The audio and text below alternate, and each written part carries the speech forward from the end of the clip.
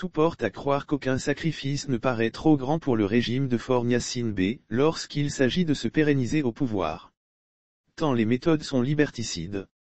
Les dernières les plus prisées, parallèlement aux innombrables cas de violations et exactions sont l'espionnage, jusqu'à l'intimité, des honnêtes citoyens. Ce, par des logiciels achetés à coups de fortune aux doses du contribuable. Et d'autres moyens encore. Même philosophie, même méthode. Après l'épisode très mouvementé du logiciel Pegasus, le macabre feuilleton d'espionnage des citoyens se poursuit. Cette fois-ci avec celui révélant l'espionnage, par un logiciel indien, d'un acteur de la société civile, début de cette année 2021. Et à des fins que seuls les dignitaires du régime sauront élucider. Cette énième révélation met à nouveau en branle, les organisations de la société civile défenseuse des droits de l'homme et les médias, épris de la liberté et des droits des citoyens. Hier, Pegasus. Aujourd'hui, un logiciel espion fabriqué par le groupe de hackers indiens de Team. En effet, selon un rapport publié le jeudi 7 octobre 2021 par Amnesty International, un militant togolais est pris pour cible au moyen d'un logiciel espion fabriqué par le groupe de hackers Team. Amnesty International dévoile les liens entre les attaques de Dono Team et Inefulab, une entreprise spécialisée dans la cybersécurité installée en Inde. C'est la première fois que Dono Team est publiquement relié à des cyberattaques ciblant des militants en dehors de l'Asie du Sud.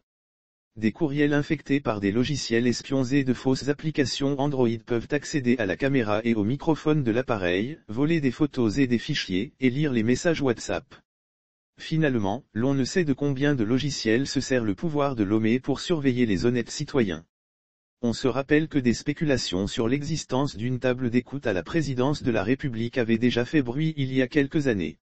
Mais la succession des faits amène, de droit, à se songer aujourd'hui, parallèlement à cette table d'écoute, à l'existence d'autres logiciels encore méconnus du public.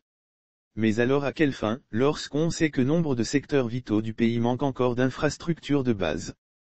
Ceci, pendant qu'on s'offre à loisir des logiciels budgétivores pour la sécurisation du fauteuil d'un Togolais, fut-il président de la République. Gestapo politique loin d'excès ou d'abus de langage, tout semble dire que les Togolais vivent plutôt dans une Gestapo politique qui ne dit pas son nom. Puisqu'au pays de Fort la moindre opinion dissonante suffit largement à vous museler. Des médecins aux enseignants en passant par les journalistes, les opérateurs économiques, les acteurs de la société civile et même les hommes politiques, tous sont contrôlés, au moindre mouvement comme si au sommet de l'État, on se reprocherait tant de quelque chose. Ceci, au point de restreindre, voire verrouiller dans une large mesure, tous les espaces de liberté et d'opinion, tant qu'on n'exprime pas suffisamment son appartenance politique au parti au pouvoir. Même l'exercice récent auquel se sont prêtés les députés au Parlement, faisant croire à un déverrouillage de la loi sur la manifestation, n'est que chimère, la loi étant toujours restée verrouillée. Gestapo socio-économique pendant que la liberté de manifestation est étriquée, c'est la liberté de presse qui voit son coup désormais sous le genou du pouvoir par lequel de la haute autorité de l'audiovisuel et de la communication, AAC. En moins de deux ans, l'institution dite de régulation et de protection de la presse a aligné cinq décisions de suspension contre quatre organes avec en cerise un retrait de récépissé. Les droits à l'emploi sont également bafoués avec des citoyens exploités et expédiés comme des bêtes de somme dans la zone franche. Les Coréens promoteurs d'Amina, une industrie productive des mèches de coiffure viennent de mettre sur le carreau 2000 agents, pendant que Dodo Comestic elle vient de dégager 150 agents le tout face au silence du ministère du Travail et de l'Emploi. Et c'est ce même ministère qui vient de publier après huit mois d'attente, les résultats du concours de recrutement de personnel enseignant avec des candidats déclarés admis, sans numéro matricule, selon les monstres spéculations, pendant que ceux les plus à même d'être retenus comme les volontaires qui ont déjà à leur actif en moyenne 10 ans d'expérience sur le terrain soient encore laissés sur la touche sans le moindre gêne et en amont à ces injustices sociales le pouvoir a, au nom de sa paranoïa politique, choisi d'ajouter au phénomène sous-régional de la vie chère son joug de mesures dites de lutte contre la pandémie à coronavirus avec des mesures qui asphyxient profondément l'économie. Et c'est ici le lieu de souligner que c'est au cœur de cette crise à coronavirus que le pouvoir de Lomé a croisé les bras devant des kidams qui se sont installés et ont collecté les épargnes des citoyens au nom du business de trading avec des promesses de rémunération allant jusqu'à 300% du dépôt. Un système Ponzi qui aura collecté aux dernières nouvelles, près de 68 milliards disparus dans la nature sans que le pouvoir puisse à ce jour, retrouver les traces malgré la décision tardive et curieuse de mettre sous les verrous les responsables de ces structures qu'il a pu trouver. L'histoire ressemble à un conte de fées sur fond de cynisme de l'État qui a choisi d'assister au drame pour jouer aux sapeurs-pompiers. Accalmie avez-vous dit? Tellement les faits s'enchaînent que cela ressemble au régime hitlérien, et ses méthodes militaires, à la seule différence que celui de Fort Niacine B est malicieusement policé pour faire croire qu'il est fréquentable.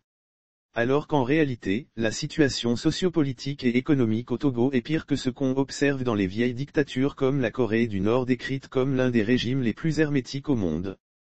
C'est d'ailleurs à juste que plusieurs critiques n'hésitent pas à comparer le régime togolais à celui de la Corée du Nord, puis qu'ici, l'étouffement des politiques et opérateurs économiques qui ne sont pas en odeur de sainteté avec le pouvoir se veut un sport favori. Cela aura suffi pour se voir coller à la peau, toute grotesque et rocambolesque affaire tissée du fil blanc pour t'anéantir ou te réduire complètement au silence, au fin de mieux t'apprivoiser. Ici au Togo, ne pas voir d'un même angle la gouvernance politique, ou critiquer la corruption, les détournements de deniers publics et la mauvaise gouvernance politique à la tête du pays suffiront à t'assimiler à un opposant. Mieux, à la pire espèce qui puisse exister sur Terre, donc déclarer persona non grata, juste pour te pourrir la vie un suicidaire sentiment de domination et de paternalisme qui s'explique par l'aisance avec laquelle on déploie justement de colossaux moyens de l'État pour écouter les gens jusque dans leur intimité. Comme pour dire vous vous rangez, ou vous n'avez pas la liberté d'exprimer votre opinion. Curieusement comme dans d'autres pays de la sous-région il y a quelques mois plus tôt, les prisons du Togo sont jonchées aujourd'hui de dizaines de prisonniers politiques. Juste pour obtenir du silence croit-on. On avance seulement.